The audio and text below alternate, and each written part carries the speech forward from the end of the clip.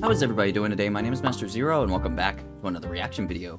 This time we're reacting to why aliens might already be on their way to us by In a Nutshell. Alright, so here we go again, man. Like, In a Nutshell has another video that's, like, really, really amazing. Or at least for me, anyway. I love space, and I love, like, your body. Like, in, whoa. biology, I guess I should say. But like, long story short, I just I love science in general, and like the science ones and the body ones, I'm trying to say is my favorite ones. And like, this is space, so I'm gonna be very very excited for this one. And it's not just space, but it's about like aliens and stuff like that. And like, I'm I'm a huge believer that like space is a big, big, very big place, you know, like it's massive. So like for us to be the only life forms out there, that's like that's impossible, right? It has to be. So like I'm really really excited for this and just to see what's to come. So without any further ado, here is why aliens might already be on their way to us. It's our first limited Oh. drop featuring our Oh. cosmic pioneer burbs They have and real their stuff. space adventures. Only for a limited time on the Kurzgesagt shop. It's not the birds having the products the or anything. is magnificent. Oh, yeah, it is. I was just talking about that. Hundreds of billions It's of big. galaxies, trillions of stars, and even more planets. If Can you imagine the what it's gonna look like in the future, though? Are habitable, That might be then now. the universe should be teeming with life. And yet we see nothing, only vast emptiness. Kind of depressing. Where is everyone else? The answer to this riddle like, I know you're out there. exciting as it is creepy. We are early, born Oh. before almost all other life. Oh, But very soon, this may change. my Not only might aliens appear, they could quickly surround us. An Oh, irreversible competition hi. for the universe might be about to begin. But is would it be a competition though? We don't know. We don't know anything about squirrel. Why do you have a squirrel? Just don't eat the squirrel. While this video is based on scientific papers, we're presenting interesting ideas based on little data. I love their videos when they do that. So take them with a grain of salt. I will. Okay, we need to look at three leads to the essential most enjoyable to understand the videos. galactic competition. One, how fast can bacteria build spaceships? Uh, uh what? To become a starfaring civilization, life You as wanna we know it elaborate? That was the Stark Tower, I saw that. Or Avengers Tower. Steps.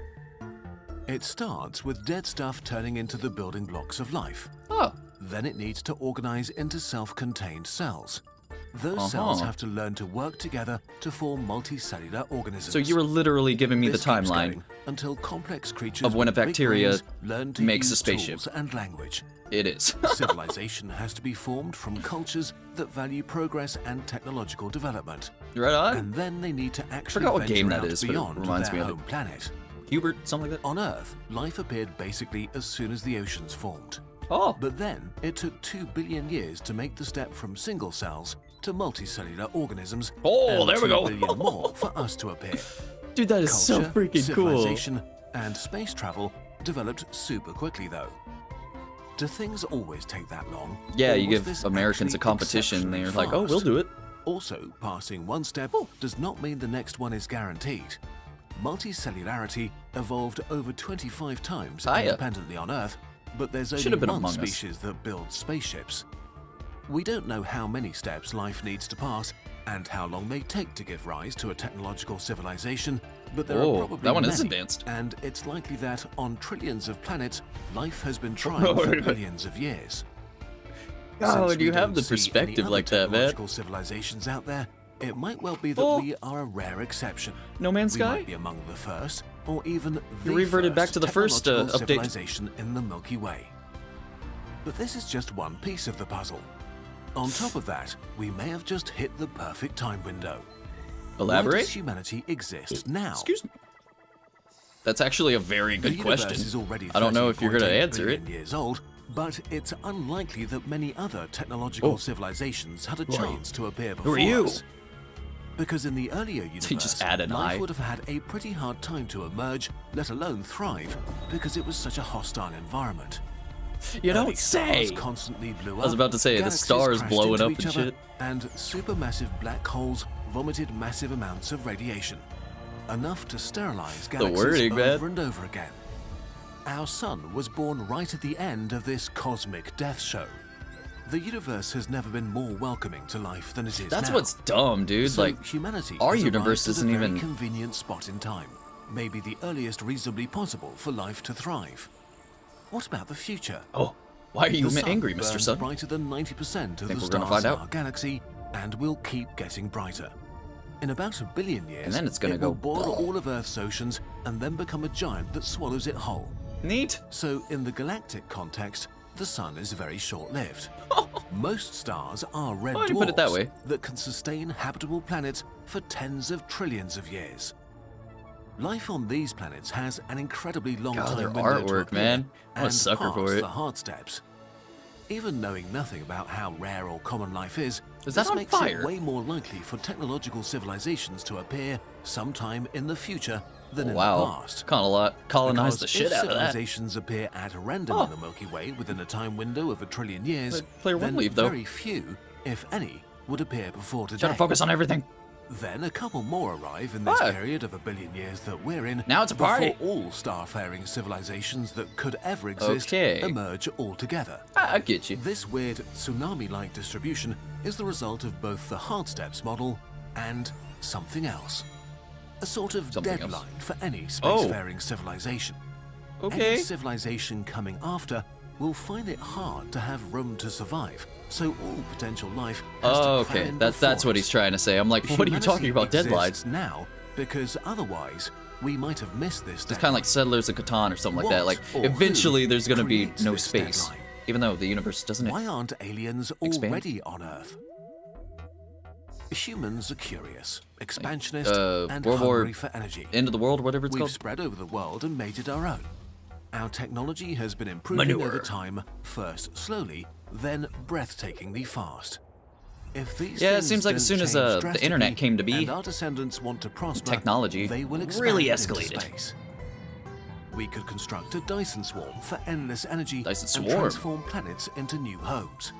We could cross interstellar distances, God, man, the us to reach for Callbacks around the other videos, I stars. love it. If we have the motivation, Seems like they're making sure you're paying attention. Galactic civilization. A civilization Just that the does wording, this sort man. of stuff can be called loud because its activity creates loud. noise. I get what you mean, though. Signs that can be detected from far away. Ew. Imagine someone in a forest cutting down trees, starting fires, and laying down roads. I don't want The to. more intense their work, the easier they are to notice. Yeah, that's a really good way to put it, though. Would probably be hard to miss. Our telescopes would pick up all that energy, and we would clearly identify artificial Whoa, interference with human. stars and planets. Usually more cartoony. Another consequence of this business is that it's very disruptive to the environment. Oh, there's the squirrel. Clearing a forest means the end of its wildlife. Human activity has left no chance for a squirrel civilization to appear. Not because we hated squirrels, it's simply that the thought that they might want to do that at some point. I mean, some people might hate squirrels. Minds, They go to work for them. Similarly, if now got civilizations were running around the galaxy in the past, terraforming planets, or harvesting the energy of stars, they may have prevented our existence. Had aliens started Huh. colonizing Earth while we were still sludge in the oceans, puddle. that sludge would Oh, that's have us. turned into humans. This is how That's what's, the like, really hard to, like, wrap your brain around, man. appearing. That's why you have to believe in a higher power, at least like my. life, but there may only be a short window for it to spread and thrive. Even if allowed Yeah, this gets civilization excited, though. with naturally occurring life and like, they could be expands around them, like Again, take it with a grain of salt, reserves, any civilization still really cool to such a think planet about. would not be able to expand ever, trapped forever on a tiny island.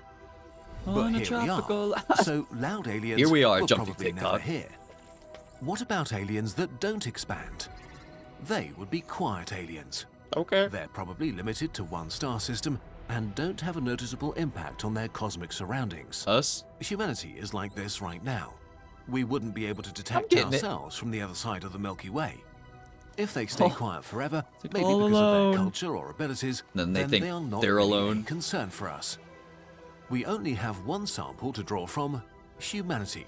And Oh. right now, we are on the path to becoming. I was about to loud. say it's like what? If we're not special and succeed anyway, then any other civilization with the motivation I and love that resources artwork, to man. It's would so eventually cool. expand beyond Just you. its planet of origin. You're special. Okay, what are the consequences of all these assumptions and ideas? Why don't I see the other ones? Grave consequences. Race, to, the, to stars. the stars. I love it. If we are really early, then eventually others will catch up with us. Civilizations And we will be emerge all superior. over the place. Not really, probably. And these new aliens will look at space, see no signs of life, and come to the same conclusion. yeah, that's what I was They talking about. They exist because loud civilizations have not yet taken over everything but it only takes one loud civilization Why? to crowd them out of the legitimately gave me a jump scare there. They, like us, will face an important decision. Oh, Do like Men in Black with the cat, take it the easy, universes in the marble? tend to their planet for as long Or as collar, possible, whatever you wanna call it. or do they start expanding to take a chunk of the galaxy before someone else Buddy? Meeting others does not necessarily mean war or Oh, conflict. hey, yeah, he's a nice alien. That new borders So I was saying at the very beginning. Limits that may persist forever. In the worst case, a civilization could be completely enveloped by the empires of others, eternally doomed to be a galactic backwater without control oh. over their fate. so if we want a seat at the I love that face. galactic adults table, we best get to work. If we really are early, we have an incredible opportunity. Yeah, but that to seems mold self. thousands or even millions of planets according to I don't our want to like colonize and all of dreams. it. Leave some for the rest of it. Yeah, leave some for when y'all guys, others, especially you. Greet them I'm and covering them him. as equals. Wouldn't that be nice? I think so. Wait, what's what? this? Advertisement? We finally received a signal from the Cosmic Pioneers crew that we lost contact with 10 years ago. Wait, what? Through a special imaging technique called illustration, we were able to reveal what happened to them and immortalize No. them in our very first drop Collection. That's actually really dope, man. These That's how you do a merch hoodies, drop. beanies, and scarves will only was that? available for a short Was he going time, through the so the encounter? I want that one, man. It's a if you want to explore the vast universe from the comfort of your own home, we've got a lot of amazing As space I and science-inspired products for you. All of our products are designed. I and swear, I keep telling myself I'm gonna get one of their posters. They're already got the ducky. part of the science story But we now I gotta to tell. So start your journey on our channel and continue it with one of our posters, notebooks, or plushes. No, just hey. Every purchase I got the last part. funds what we do on this channel. Yes. Thank you so much for for, your support. And never stop dreaming of space There it is. adventures. Spaghettification. What? What? What? All right, man. That was just really, really enjoyable. I love that. Like the the thing that I know I said this in a lot of their other like the newer videos, but like the stuff that they decide to talk about in the late the newer videos are like really, really cool to me. They like they seem like they're addressed to like to me. Like I know that's not obviously that's not true, but like it, it kind of feels like that because like it seems like they're asking questions that I didn't think I'd know the I need to ask. You know, like the thing I always say in the Kurzgesagt videos. But like, long story short, it's just really fascinating stuff. And yeah, like these types of videos, it's like he said at the very beginning, you know, take it with a grain of salt. Like this is just pretty much using our imagination. Like some science is behind it, but like a lot of it's imagination and stuff like that. And like I, I don't fault it for the I don't fault the channel or anything like that for doing that. Like I think that's really really awesome. And like how I say in the past and stuff like that, that like opens the door for people's like enthusiasm for science or like enthusiasm for like learning what's out there in the universe and stuff like that. For having this for an example. So like seeing like how it started and stuff like that. I, I know I'm going I'm jumping like crazy, but like my brain's like mush right now. But like I just love at the very beginning when it was like, okay, well, how long does it take a bacteria to make a spaceship? Like, I didn't know where it was going from there, and then that kind of like drove what was going to happen, like along the entire video, you know? So like, I love that. I love that so much, and like the, it's not, it, it kind of like pumps the brakes with the scientific part of it, and like obviously it's talking more about anim- uh, the imagination, but like because it does that, it leads to like a little, like a tiny bit more enjoyable. You know, like the the more fake stuff is, the more fiction it is. You know, like it's funny and entertaining, funny at all times. But like I'm babbling at this point, so I'm gonna end it here. But like long story short, I love this video. I love Kur- Kurtz to. What they do is just nothing short of amazing, man. Like trying to like give as much information as they can for free by the way. So thank you everybody so much for watching. Leave a like down below subscribe ring the bell become a member. You get videos a day early and check out the merch. So with that said i have been master zero. Guys have been fantastic and i'll see you all in the next episode. Later days